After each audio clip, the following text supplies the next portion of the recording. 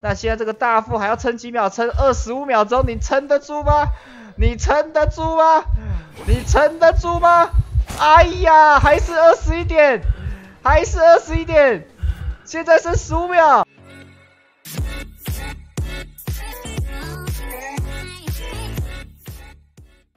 哎，刚好两把都是月亮盒，哎，你们运气好好。那获胜者呢？再麻烦请你，到时候再私信我你的寄件位置。好的，那我们来看一看呢。现在呢，这个镜头是直接让我给到这个玩具商，他直接发不要过来，是这位祭司。好，这边第一把是谁当监管的啊？是这个严某回来了。哇哦，他说你不要过来，但是他自己自愿先当了一个监管。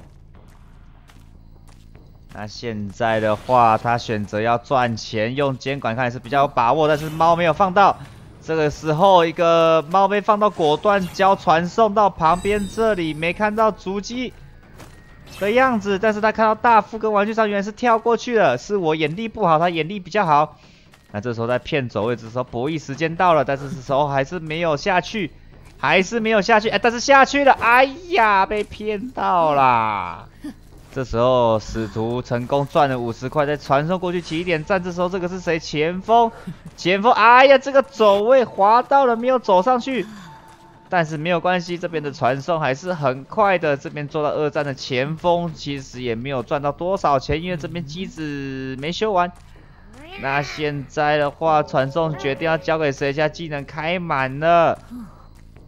旁边这个是新的豆腐入殓师，但是现在传过去，这个机子有大副又打造成功，赚到了一百块。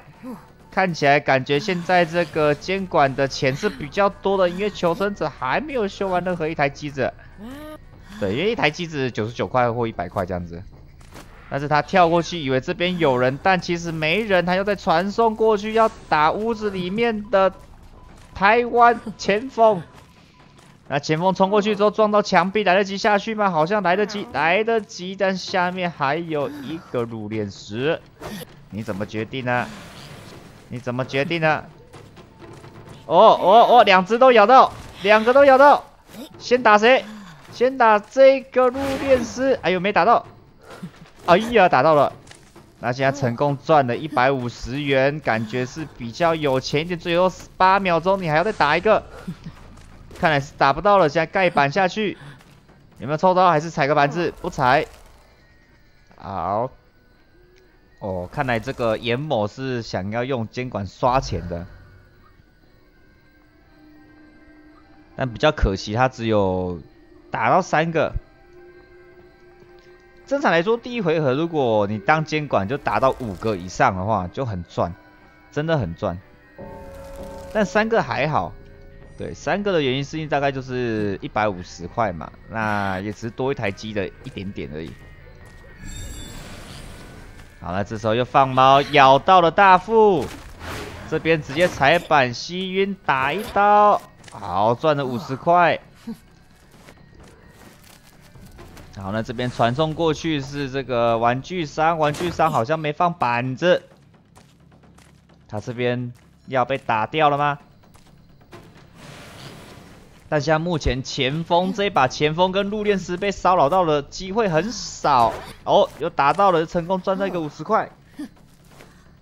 对，那但是现在目前状况看下来，还是这个监管的钱比较多。现在又在追这个台湾前锋了，然后这边板子踩下去，哎呀，他这绕到前面，哇，差点送了一个刀，但是这入殓师很大胆，站在这里直接被打一刀，再赚了五十元。这个入殓师看起来有点像在送钱的状况哦。啊，这时候大副果断交怀表。那现在使徒不打算理他了，想要去找别人，因为他看不到本体在哪里。但是现在咬到，咬到玩具商了。哎呦，哎呦，再打一刀，又赚了五十元。哇，感觉这把这个监管者钱赚的很多很多。那现在在看哪一台机子有抖动，有没有过去屋子？感觉上没有。有，他传过去了。他传错边了，他竟然传去起点站了！哎呀呀！那现在剩下二十秒的时间，还有没有办法再打一个人？还要再传送过去了。他选择要抓这个玩具商，但是你剩下十秒钟。但是他这个跳起来了，起飞。哦，成功逃脱，不然真的要再被打一刀了。三、二、一，好，结束这回合。豆腐一直被卖，笑死。他卡再要自己就行。好的，谢谢陈宇的一百颗星星。没关系，下一把还是会邀。对，请那个十个诺顿再稍作等待。好，那现在的话一样是这一位使徒当上监管者。嗯。哦，有咬到吗？咬到了，咬到了。现在这个玩具商非常危急。我跳过去，再打了一刀，哇！这个时候感觉真的这个使徒赚很多钱哦。他选择要这次去打人，看来是真的有点赚上。哦呦，这个挥空，哎呦哎呦哎呦哎呦哎呦，前锋能成功逃脱了。他开球了，开球了。哎呀，猫还是咬到了，但是没有跳过去盖板，但是被吸了一下，踩掉再打一刀，成功打到。但是现在感觉使徒还不想要签人，想继续赚钱。那现在人都一个到二战，但是玩具商还在下面，还在下面呢。他又要被打一次了。哎，没有，这个猫没咬到，但是他现在放个板子，跳上去跳不来不及。哎呀，这个玩具商赚不到钱就算了，一直被打。好，那现在要追到这个大副，大副果断开怀表，不想给他机会。那这边蓄力挥挥看，没挥到。那现在使徒选择放弃吗？有的选择放弃了，直接传去找另外一个人，就是前锋又咬到了，但是翻板过去有点尴尬，又被打一刀。看来这个监管赚钱赚的开始越来越有效率了，手感打的越来越多了。但是没有看到的是玩具商，玩具商又要被打了吗？有，又被打了。我觉得这玩具上很像提款机。好，那现在这边豆腐也被追了，又要被打一刀了。哇，这个使徒在后面越转越凶哦，真是越转越凶哎，真的。哎，他这一把打六次有了吧？至少打有六次吧。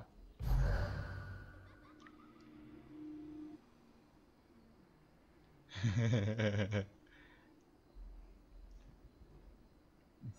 呵这是一种霸凌，这是一个战术好吗？哎，有人二十一点，让我们看一下镜头，是这个玩具商。哎呦，他到底是好运还是不好运呢？让我们看一下，他那边有没有机制呢？哎。他选择弃牌弃掉，他不想当二十一点了。哦，但是现在这个使徒还是过来打他。哎呀，还是被吸住了。他要跳起来，候被吸住了。哎呀呀呀呀呀呀呀！那现在的话，看这个使徒怎么做。他选择给他牌。那这个最后的结果是如何？让我们来看一下。好，那这个回合看起来是没有人被淘汰，又是进入二十一点。等一下，等一下，这一个，这一个结果很不一样哦，有两个人二十一点啊，各位，这个大副跟玩具商都是二十一点啊，看来这一把可能就马上直接一个获优胜者会出来了。哦，一个，哦，又一个转换二十一点，哇，这把很刺激哦！现在原本玩具商的二十一点跑到祭司身上来了，就是这个使徒。那现在大副一个很轻松的在那里跑来跑去的，感觉这个祭司会被针对，但是他钱应该很多。但现在重点是，大副没有人管他。那现在到底该怎么办？现在它变成一个点数消失了，是变爆点还是减少？这边我们看这回合结束之后才知道结果。那现在大副还是在旁边跑，他现在还有四十秒的时间。这个入殓师在大房子，那玩具商在这个离大副最近有三个人过去了。这边有监管者跟玩具商，还有这个使徒很多钱的祭司。那现在这个大副还要撑几秒？撑二十五秒钟，你撑得住吗？你撑得住吗？你撑得住吗？哎呀，还是二十一点，还是二十一点。现在剩十五秒，这十五秒，这个有没有办法打到？很紧张，十秒，九、八、七、六、五，跨过去了，三、二、一，哦！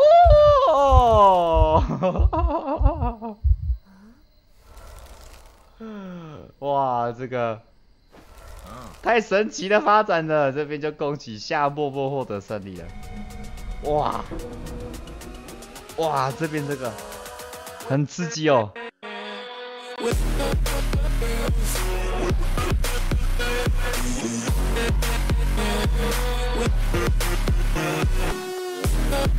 We'll